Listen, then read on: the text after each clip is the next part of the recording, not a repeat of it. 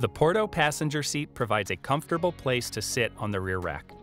The rear rack can support one or two seats in various locations in combination with other accessories.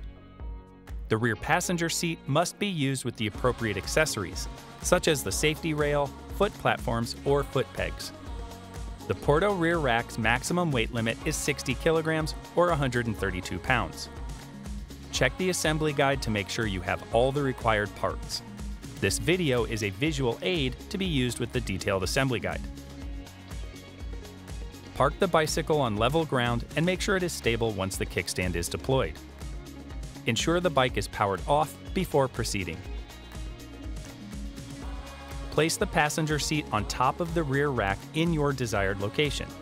Ensure the rubber feet are fully inserted inside the outer rack rails, not resting on top of the rails. The seat base should be flush against the rack top. The seat's feet have an asymmetrical design, allowing you to rotate it 180 degrees to find your ideal position. Make sure the tie straps and buckles are on the outside of the rack. Thread the straps around the upper rack rails, under the top of the platform, and through the buckle. Pull the strap tight and fasten the hook and loop fasteners.